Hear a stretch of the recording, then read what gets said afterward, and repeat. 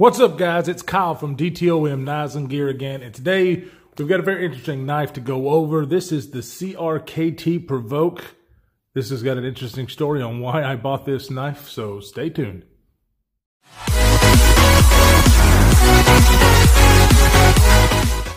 Welcome back, guys. All right, today we're going to be talking about the CRKT Provoke. This is not your ordinary knife, and it's not usually a knife that I would purchase. I'm a user. I like uh, utility knives, something that I can carry around and it works for everyday task. Um, I do like a little flair. I like different opening mechanisms, different closure mechanisms, and that is why I bought this. It's not a knife that I carry every day. You guys know in some of my other videos, I do carry knives on my right side for utility purposes, and sometimes I carry knives on my left side for defensive blades. And this is one of them. It doesn't get carried a lot, but uh, it can be used in that role. I am not a defensive knife guy at all. I don't know what I'm doing. I, you know, if I was to have to get into a knife fight, fight, I would probably die. But this is just a cool mechanism. I had to grab it. It just makes me happy.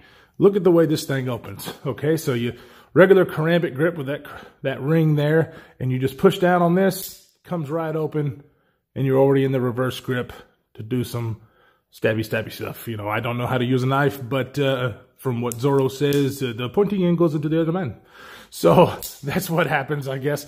But you can see it's a karambit blade, and you don't see a lot of, of course, you don't see any karambit blades in my collection other than this guy. You also don't see very many recurve blades uh, in my collection because I just find them really difficult to sharpen with the system that I've got.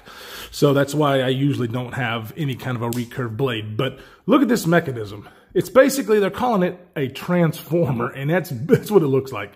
It closes in on itself and has this mechanism that closes or that opens up and actually locks. This thing is locking and you release it by pulling back on this little tab, closes back in on itself where the blade's out of the way. And uh, it just, it's really fun. it's really fun to play with. I bought it really only for that mechanism because I thought it was the coolest thing. You don't see any knives, uh, and I kind of wish they would. I, I think it'd be cool to see other kind of knives and knife shapes. It may not work with this particular design, uh, but I think they did a really good job here. Uh, you can see the pocket clip on the back is also kind of interesting. It uh, basically wraps around the karambit hole and you have a little jimping here. And basically the way it works is when you press on that, see how that lifts up and then it goes and slides into your pocket and actually slides up to a very deep carry. It goes all the way up to the top. So that it, it does carry kind of deep. Now, I keep my, you know, EDC blade in my right pocket. And this is really designed for right-hand carry only because it goes in the right side. You put your finger in it, grab it, which actually with a deep carry is not actually not that great of a design because you have to get your finger in there. So you have to basically pull up, then put your finger in it. So, yeah. But anyway, pull it straight up. It does go in and out of the pocket relatively easy, and then you just flick the blade. That's not the way I decided I wanted to carry this if I carry. So, um, Knife Center, the Knife Center, I believe, they actually sell uh, these Kydex sheets for this. Then I ended up putting a Tek-Lok on there. And I've got it set up to where it's on my left side, so I can actually grab this thing with my left hand, pull it out, and then use it that way.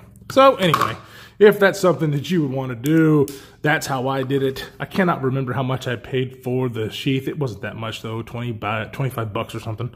So, uh, but anyway, very cool knife, very interesting design. Not a big Karambit fan, but when I saw this, I actually saw it for a little while and I said, man, that's just, that's just cool. And uh, they were around 200 bucks ish there for a while. And I was like, I don't, I don't know if I want to spend $200. It's such a cool knife, man. I don't know if I want to spend $200. Then I saw on Amazon, there was one seller doing a deal and I got this thing for 160 and then I jumped on it. Uh, I looked right before this video and on Amazon, you can still get this for like 173 bucks by one seller, 194 on another. And then Blade HQ is still selling for 200 bucks. So if you're looking to buy this knife, Amazon's your way to go. Uh, the blade on this guy is D2 steel, and I don't remember if they, yeah, no, I don't remember if they don't put, they don't put it on the blade. Uh, but it is D2, and I'm going to bust out my handy dandy Blade HQ sheet for D2 steel that you've guys seen in the last few videos. So D2 steel, as you can see, it says the ease of sharpening is not that great. I really haven't had that much problem sharpening D2. Um, but you can see the corrosion resistance is rather low. Does have relatively good edge, ed edge retention. Uh, you know, 10 years ago, D2 was the steel to have because of the edge retention. Now it's just basically one of the best budget steels that you can buy. And you can see it's relatively tough as well. So I don't mind D2 steel. Actually, I, I, uh, I like, like it a lot actually for the budget knives. Uh, one thing though about that corrosion resistance, you can kind of see here these spots and that spot, those spots right there are uh, little rust spots. So if you don't take care of your D2, it will do that. Uh, this was being stored in a closet in a bathroom, so the moisture did kind of get to it. So I am remedying that situation. I'm covering it with oil, so that was totally my mistake. Uh, so, but also can, you can tell, I'm not sure what the coating is on this guy, but it's not helping in the rust area. Uh, but no matter. Uh, the, the overall length of this guy open, it's relatively large when it's open. It's about 7.37 inches overall. The blade length is 2.41 inches. The cutting edge is 2.375, width of about one inch, and the blade thickness is about 200 thousandths. So we're gonna go ahead and we will put these comparison. You can see that the PM2 is uh, larger than this knife open. We're going to go ahead and do the Ontario Rat 1 and Ontario Rat 2 so you can get a good idea. So as far as overall length, it's about the overall length of the Ontario Rat 2 um, whenever it is open. Now, when it's closed, you can see that it does come back on itself and is rather short. It's shorter than the uh, Ontario Rat 1. It is not as short as the Ontario Rat 2. The Ontario Rat 2 can basically fit inside of it. And it is rather wide, just for the nature of the beast of the design. But I will say, if you do carry it as it's designed in the uh, right pocket, it, it doesn't, it's relatively thin. You can see it's a pretty thin profile. And it, it uh, fits in the pocket quite well. I didn't really notice I was carrying it. Uh, we will go ahead and see what the weight is on this guy. It's not, it is definitely not a light knife, uh, but I wouldn't say it was ridiculously heavy. That is turned to grams. Let's get this back where we need it to be. I don't want grams.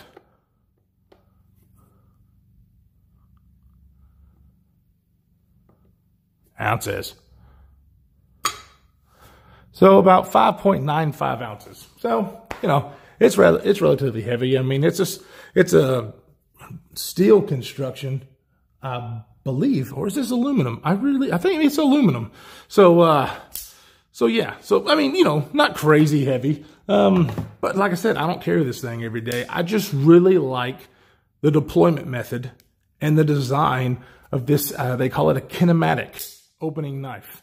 And it's just cool. I, I, I do. I play with this all the time. And I've tried to learn how to close this thing one-handed, and I can fold it like this and come back in it and do some funky stuff to get it back to close on itself, but it's not really that practical. Uh, but anyway, I mean, if I have this on my left side, you know, it kicks that away that it's easy for me to grab if I need to, and I enjoy carrying this thing uh, when I do. It's just, it's one of those things that brings me joy. It's not practical at all, but you know what? It doesn't have to be. It just has to bring me joy, and it does. And so this is a quick one, guys. If you have any questions on this knife, feel free to leave me a, a comment down below. If you like this kind of content, go ahead and hit that subscribe button and hit the notification bell. I've got quite a few knives left to review. I've got one knife coming in that I have a really great story for uh, that hopefully will be here next week. Also have a EDC subscription box coming from uh, goinggear.com, which I'm really excited about. We will go ahead and open that together. And uh, anyways, I hope you guys are staying safe out there, and we will see you in the next one.